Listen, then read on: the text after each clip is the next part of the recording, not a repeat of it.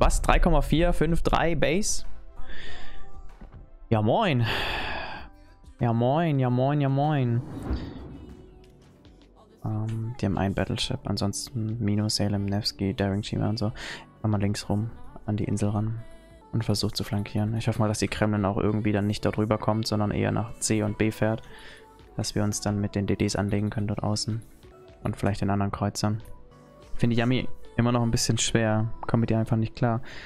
Yamato ist auch kein Pusher, gell? In manchen Situationen kann man mit ihr mal Druck ausüben, aber sobald du in so ein Kreuzfeuer kommst, wie du das gerade hier gesehen hast, wenn hier Feinde stehen und da Feinde stehen und du fährst hier rein und man kann dir unter die Cheeks, unter die Backen, vorne rechts und links schießen, unter den Frontturm, bist du so schnell tot. Yamato ist im Nahkampf ein Opferschiff. Die ist auf Distanz sehr, sehr, sehr genau, hat eine gute Durchschlagskraft auf Distanz. Ähm, also Yamato eher als äh, Long Range und Medium Range Schlachtschiff benutzen. Ja, Secondary Builds sind einfach tot momentan. Oder sagen wir mal so, sie sind sehr verkrüppelt. Und schaffen es halt einfach nicht effektiv genug zu agieren. Ähm, es kostet dich zu viele Kapitänspunkte, um die Secondary vernünftig auszubauen. Und dabei verlierst du so viel Überlebensfähigkeit mit deinem Battleship, dass du zu schnell stirbst, dass es halt nichts bringt. Es lohnt sich nicht für dich. Viking Rider High. Und da müsste Wargaming meiner Meinung nach ein bisschen was machen dass sich Brawlen wieder mehr lohnt, dass du, wenn du ranfährst, auch dafür eher belohnt wirst. So. Deswegen, das ist auch derselbe Grund, wieso Kremlin in der Meta momentan meiner Meinung nach, ist alles meine subjektive Wahrnehmung, dass die Kremlin kein Metaschiff momentan mehr ist. Man sieht die auch im Random kaum noch. äh, weil die eigentlich davon lebt, dass man ranfährt auf Mid- und Close Range und kämpft. Also es ist eher so Mid- und Close Range Fighter. Aber Du hast so viele Battleships, die auf Distanz momentan agieren, alle Kreuz viele Kreuze, die auf Distanz agieren, und du dann einfach von alleine bist.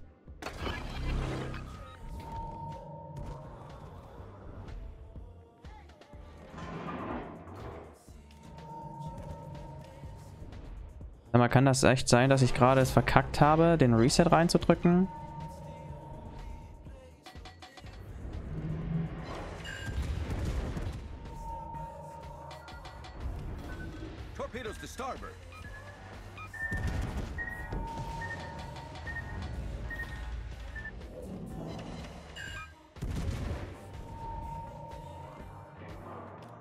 habe echt verkackt, den Reset reinzudrücken.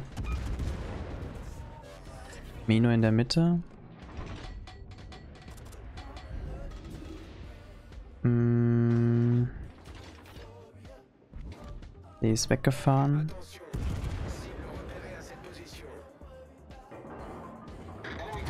Ist unangenehm, ne? Weil jetzt kriegen sie ja hier den Cap. Also haben sie den Cap und kriegen Punkte ohne Ende dadurch. Ich komme nicht an die Sail am Rand, noch nicht. Schade.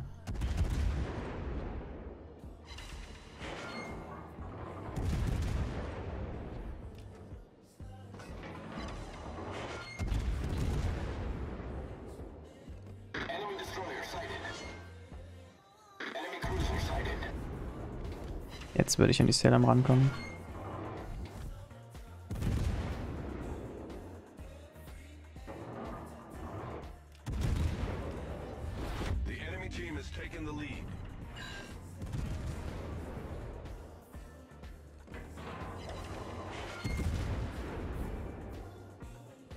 Wieso ist the enemy taking the lead? Come on. So. Das haben wir. Wir haben die Alant hier außen.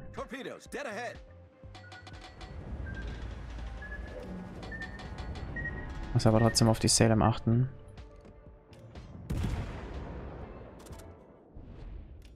Aber die kann uns momentan nicht mehr treffen.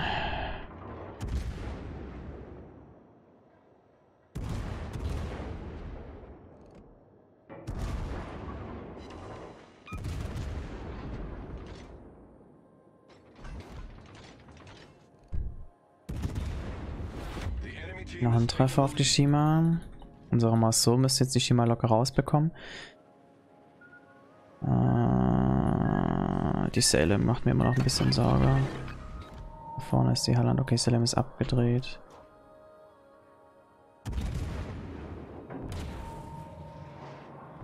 Jetzt mal ein bisschen besser treffen hier. Die Halland.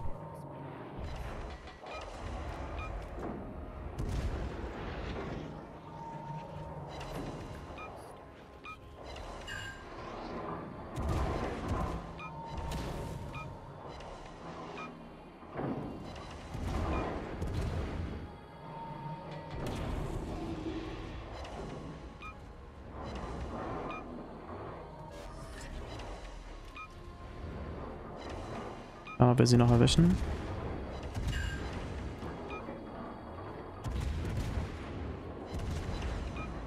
Dürfte tot sein. Okay, haben wir. Einmal konzentriert kämpfen und gut ist. Jetzt hoffentlich keine Torps von ihr mitnehmen. Die Salem schießt auf uns. Da ist die Shimakase. Fährt wieder vorwärts. Findest du Horst Falke? Ich finde das immer noch super spannend, das Spiel. Es kommt immer drauf an, mit welcher Klasse du spielst. Wenn die Battleships zu langweilig sind, kannst du Zerstörer fahren. Für Zerstörer ist es momentan echt spannend eigentlich. Weil auch teilweise Kreuzer nicht mehr so aggressiv ranfahren. Weil keine Battleships mit vorpushen oder weniger Battleships vorpushen. Hast du mehr Platz, Freiraum, sag ich mal, mit deinem Zerstörer. Bei den Caps. Also für, für DD-Hunter, DDs, ne? 1 gegen 1 DDs, Duell-DDs, sag ich mal. Ist das ganz interessant.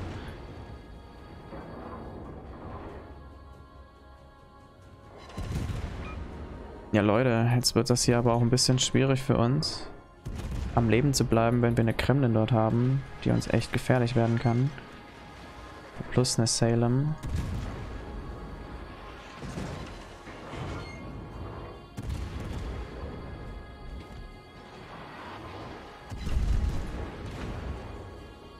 Nevsky ist auch noch mit am Start.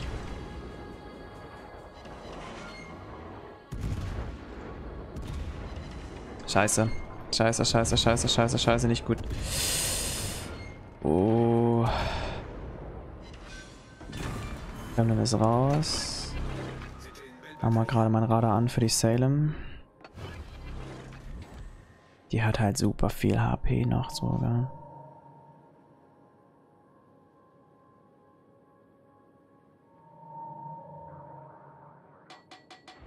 Ich, ich muss meine Mast so halt irgendwie noch ein Stück weit helfen, retten. Ihr helfen, retten. Wartet mal kurz, wenn wir schnell genug sind und sie kein Radar poppt jetzt. Kann ich sie möglicherweise noch bestrafen? Zu spät.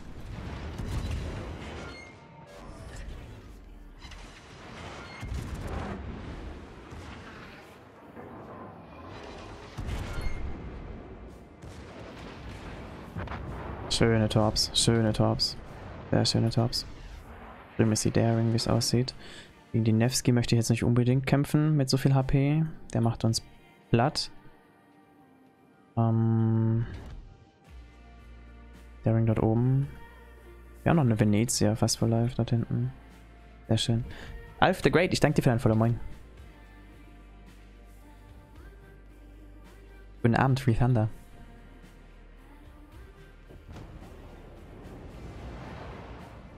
Zwei Zitas. Mhm. Mit einem Battleship. Ab seit 1,5 Jahren kein WoW erstmal gespielt. Lohnt es sich wieder einzusteigen? Ich glaube, die Frage kannst du nur für dich selbst ähm, beantworten, wenn du Spaß daran hast. Am Schiffe versenken, einfach ausprobieren. Also jederzeit kannst du einsteigen in Warships. Ähm, Würde ich sagen. Das ist jetzt nicht so schwierig und so komplex wie World of Tanks. Äh, meiner Meinung nach, wo halt so unfassbar viele Panzer dabei sind, wo es noch viel wichtiger ist zu wissen, wo man wen treffen kann so und muss. Oh scheiße, fährt der volle Kanne hier rum und ich stehe breit. Das kostet uns jetzt echt HP. Oh, wir haben Glück. Wir haben sehr viel Glück.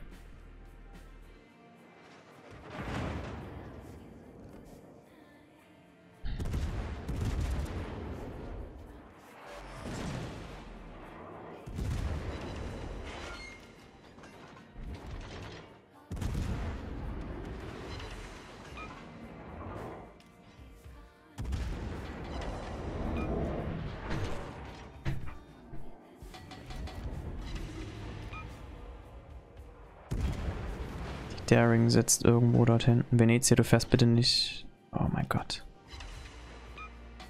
Kann dir nicht helfen, Venezia.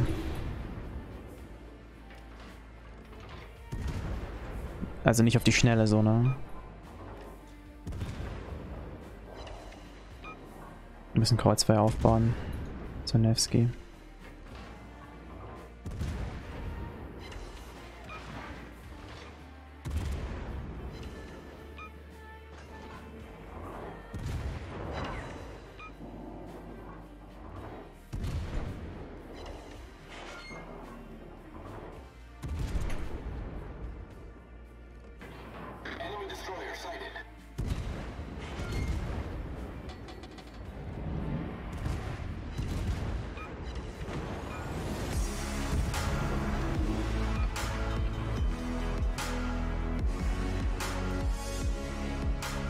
Venezia lebt noch, das ist sehr gut.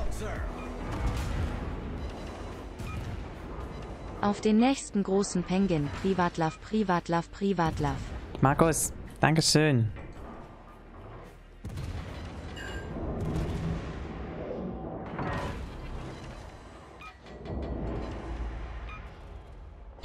Gut, dass es keine Petropavlovsk ist, ne? Sonst hätten wir jetzt gerade schon Probleme. Kann ich mal immer vielleicht ein bisschen besser treffen in den Aufbauten oder sowas? Dann ist er nämlich auch gleich raus. So. Ihn habe ich. Ah, ich Depp hab die ganze Zeit die Geschütze getroffen von ihm. Da die Aufbauten. Schlecht gezielt. Dankeschön für vier Monate. Markus. Moin. Und hallo Alissa. Servus. Die Qualität der Spiele hat stark nachgelassen. Ah, es ist so, es ist schwierig die Aussage, weil du hattest, also einerseits hast du viele, viele Hardcore-Spieler, die seit der Alpha-Phase mit dabei sind, ähm, die aufgehört haben, das Spiel zu spielen. Andererseits hast du viele Spieler, die seit der Alpha-Phase mit drin sind und immer mehr dazulernen. Ähm, die Leute, die unbelehrbar sind, nehme ich jetzt mal außen vor. Aber allgemein hattest du am Anfang, die ersten ein, zwei, drei Jahre oder sowas, hattest du viel, viel mehr Leute, die einfach öfter breit rumfahren und wegsterben, so. Ist so mein Gefühl. Mittlerweile wissen die meisten Leute eigentlich, dass sie nicht breit fahren sollten, dass sie anwinkeln sollen und so weiter und so fort in Battleships und so weiter. Ähm, dann kommen halt aber auch wieder neue Leute mit da dazu, Casual Player, Schwer zu sagen. Ich habe keine Einsicht in den Statistiken. Vom Gefühl her würde ich sagen, es hat sich eigentlich nicht viel getan. Hat sich nicht viel geändert. Früher waren Leute schon blöd, heute sind Leute blöd. Früher waren Leute schon stark, heute sind Leute stark. Es wechselt halt einfach nur durch. Man, ich denke mal, dass, dass der Eindruck vielleicht auch entsteht, weil, weil viele Bekannte, die gut gespielt haben, halt aufgehört haben, das Spiel zu spielen und man sich dann vielleicht auch keine Mühe macht, neue Leute kennenzulernen, die ebenfalls gut spielen oder so. Ich weiß es nicht.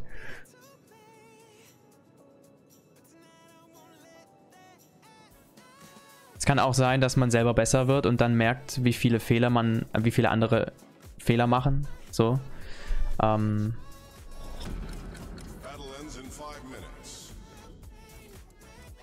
Ups. Jetzt wollte ich machen. So. Ich habe kein Hydro mit dabei gehabt. Bin selber geortet.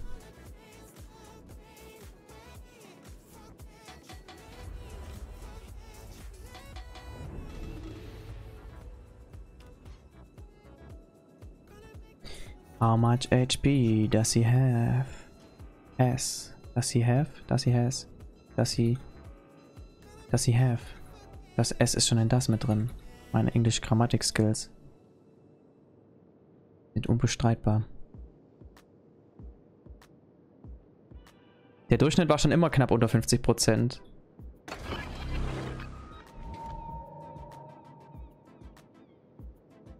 So.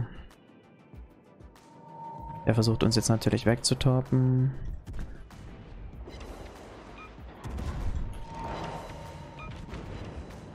Easy, ja logisch.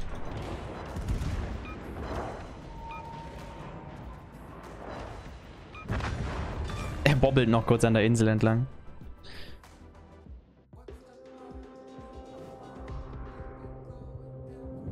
Of course.